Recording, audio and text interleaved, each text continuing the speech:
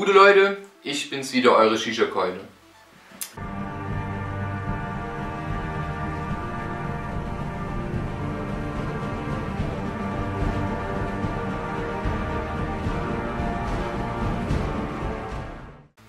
Ja, wie ihr seht, andere Location. Und zwar bin ich jetzt in meiner Studienstadt bzw. in meiner Studentenwohnung in Kassel. Ähm, sonst seht ihr eigentlich meine Dosenwand im Hintergrund, die habe ich aber leider jetzt hier nicht. Aber ich denke, äh, sollte eigentlich kein Problem sein oder für die Video oder Informationen, die im Video sind, ist das ja eigentlich nicht ausschlaggebend, welche Location im Hintergrund ist. Ja, Heute dreht es sich um, wie ihr auch schon im ähm, Titel lesen konntet, um einen etwas besonderen Tabak oder eine etwas besondere Sorte und zwar um den Kismet Black Apple. Das Ganze könnt ihr im Vandenberg Shop bestellen, den ich euch jetzt auch unten wieder in der Videobeschreibung verlinke. Ähm, ich habe mir vor ein paar Wochen die Wundertüte bestellt, die auf der Vandenberg Seite äh, äh, zu kaufen gab und zwar hattet ihr da ähm, ja, jeweils 30 Gramm für 15 Euro 90 waren dann nachher, ich glaube, 150 Gramm Tabak, jeweils von den verschiedenen ähm, Kismet-Sorten und Shot zum Probieren. Ähm, ja, hier seht ihr die OVP, beziehungsweise ich blende es jetzt auch hier oben nochmal ein. Ähm, das Ganze wird nachher kosten 25,50 für, lasst mich nicht lügen, ich glaube 250 Gramm. Ich bin mir jetzt aber nicht hundertprozentig sicher, 200 oder 250 Gramm sind es.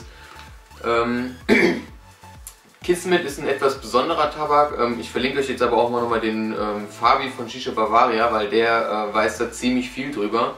Ähm, und zwar wurde bei Kismet ähm, drei verschiedene Grundtabaksorten benutzt. Und zwar ist es ein Dark Hue, ne Moment, ein Dark Air Cute, ein Burley und ein Orient Tabak, der dort verwendet worden ist.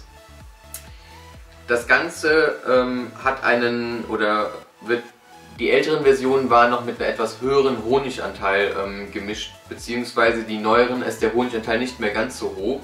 Heißt, ihr habt nicht diesen Glycerin-Pump, der äh, sonst bei anderen Tabaksorten halt da ist. Das Ganze ist wirklich sehr, sehr schön eingezogen. Ja, ähm, Black Apple, ähm, ich hatte mir damals schon gedacht, okay, das wird irgendwie sowas um die Art von, ja, Doppelapfel oder sowas sein. Ja, und wenn man dann die Nase dran hält, äh, bestätigt sich das Ganze auch. Ihr habt eine sehr, sehr, sehr leckere Anisnote und eine ja, sehr fruchtige, sehr interessante Note, die noch mit dabei ist.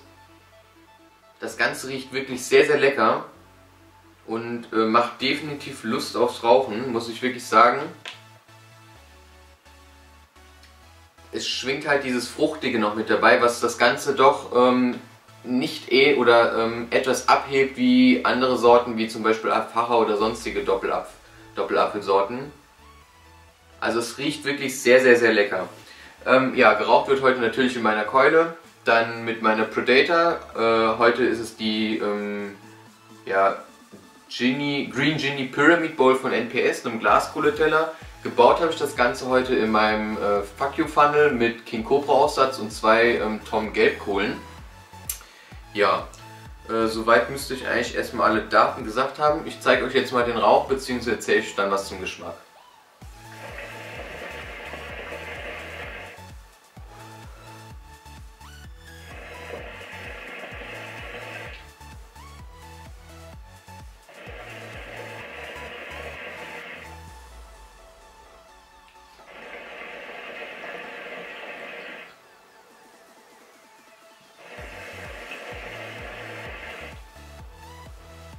Ja, also das Ganze, wie ihr sehen könnt, raucht schon mal wirklich sehr gut. Ihr habt schön dichte weiße Wolken. Vorab, der Tabak drückt nicht, er kratzt nicht. Ist natürlich auch ready to smoke ähm, und lässt sich sehr, sehr gut handeln. Also ihr könnt auch ruhig mal ein bisschen mehr Hitze geben.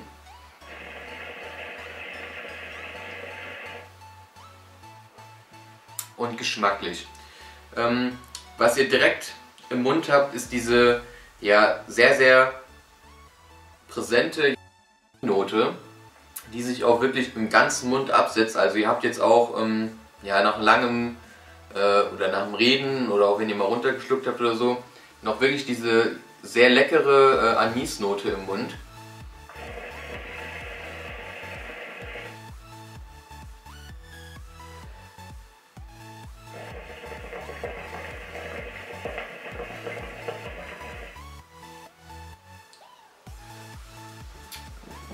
Ähm, wenn ihr das Ganze aus der Nase auslasst, kommt oder merkt ihr, dass das Ganze anders schmeckt. Ihr habt eine sehr, sehr erdige, äh, ja, ja, so einen erdigen Geschmack. Das, der kommt, oder das kommt durch die verschiedenen Grundtabaksorten, die dabei äh, verwendet worden sind.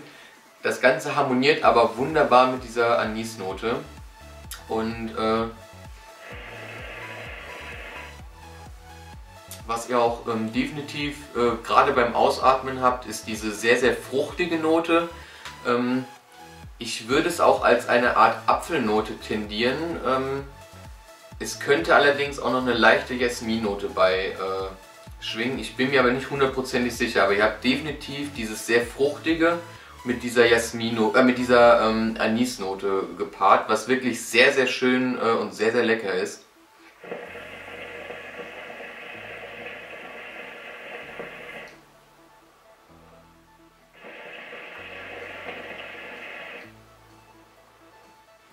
Wenn ihr das Ganze mal in einem Overpacking baut, im Overgamping oder auch ganz normal mit dem Flavor Saver, äh, dann kommt diese Grundtabaknote noch etwas stärker hervor. Das ist in dem Funnel jetzt nicht der Fall.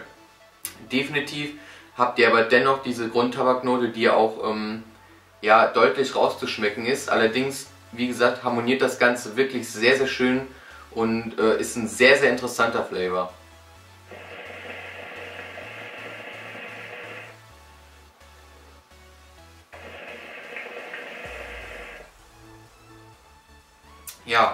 Fazit. Ähm, ich kann definitiv eine Kaufempfehlung rausgeben an die Leute, die sagen, ähm, sie rauchen gerne Doppelapfel. Das Ganze ist wirklich, wirklich lecker. Also ich muss sagen, ich rauche gerne Doppelapfel und die Sorte knallt aber wirklich nochmal alles, was irgendwie sonst auf dem Markt ist, aber sowas von in den Schatten. Äh, das Ganze harmoniert so gut miteinander. Es ist wirklich eine sau leckere Sorte. Ich kann es wirklich nur sagen die hat mich mehr als überzeugt und wenn das Ganze, äh, ich glaube am 20.10. werden die Sorten veröffentlicht, da werde ich mir definitiv eine 200 oder 250 Gramm Packung äh, mal gönnen, weil das Ganze ist wirklich sehr, sehr lecker.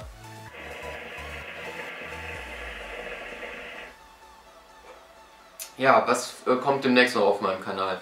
Ähm, es kommt noch ein, ein, kleines Special, da haben wir ein bisschen was äh, geplant, aber da möchte ich jetzt noch nicht zu viel verraten. Das wird, denke ich, Ende Oktober dann auf euch zukommen. Dann waren wir noch im Kolonial in Hockenheim mit ein paar Kollegen und zwar war der Olli von den Shisha-Warentestern da, auch der Benny waren da, also beide Warentester waren vertreten. Der Marvin von Shisha MM, Smoking Lilith war am Start, Shisha Opa war da.